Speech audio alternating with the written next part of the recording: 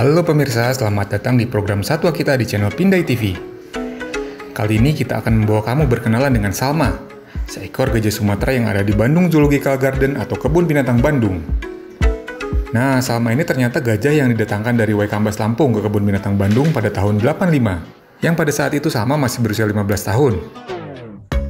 Walaupun kini umurnya sudah lebih dari 50 tahun, namun Salma nampak sehat dan bugar di bawah asuhan Pak Yayat Supriyatna yang telah menjadi kiper gajah di Kebun Binatang Bandung sejak tahun 2005. Di alam bebas Sumatera, gajah bisa hidup hingga umur 70 tahun. Namun kalau di kebun binatang seperti ini, umurnya bisa lebih panjang, mencapai 80 hingga 90 tahun. Karena pakannya selalu terpenuhi, dan kesehatannya selalu diawasi oleh dokter hewan. Nah, kamu tahu nggak cara membedakan gajah betina dan gajah jantan? Kalau belum tahu, aku kasih tahu ya. Jadi gajah betina biasanya tidak punya gading.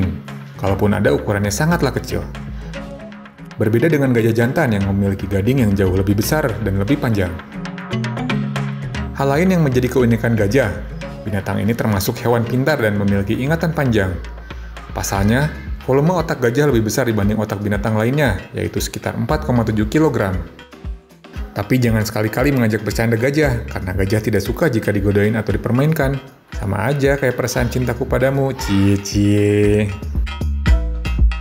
Jika digodain, gajah akan gelisah, dan tidak jarang akan berperilaku agresif.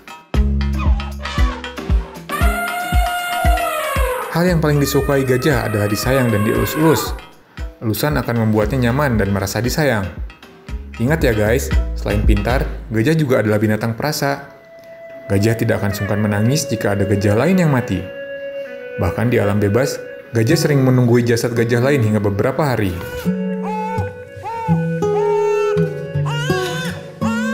Kalau kamu ada yang beranggapan gajah meminum air dengan cara disedot menggunakan belalainya, itu salah guys.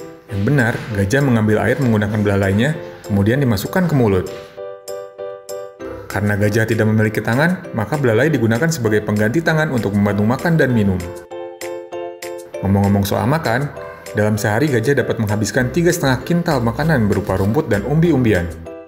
Tidak hanya makanan yang super banyak, dalam sehari gajah juga bisa menghabiskan 80 liter air. Wah wah wah, itu bisa dipakai mandi bareng-bareng satu RT ya guys. Dari 24 jam waktu sehari semalam, 16 jam di antaranya dihabiskan gajah untuk makan dan minum. Jadi pantas saja berat badan gajah bisa mencapai 4 ton ya guys. Seperti gajah Salma yang ada di kebun binatang Bandung ini, yang kini beratnya mencapai 3,6 ton, dengan tinggi lebih dari 3 meter.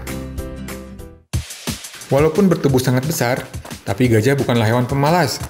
Setiap hari gajah harus berjalan-jalan, minimal 5 km. Kalau tidak, gajah akan stres. Gajah juga hanya membutuhkan tidur selama 4 jam saja, dan sebagian besar tidurnya dilakukan sambil berdiri. Kebayang nggak tuh gimana kalau kamu yang tidur sambil berdiri? Hehehe. Selain aktif bergerak, percaya nggak kalau gajah merupakan perenang yang handal di alam liar? Bobot tubuhnya yang besar ternyata bisa mengambang di air dengan sempurna. Satu lagi nih yang perlu kamu ketahui, kalau gajah itu merupakan hewan yang sulit bereproduksi atau berkembang biak. Hal ini dikarenakan waktu kehamilan gajah betina yang bisa hampir 2 tahun.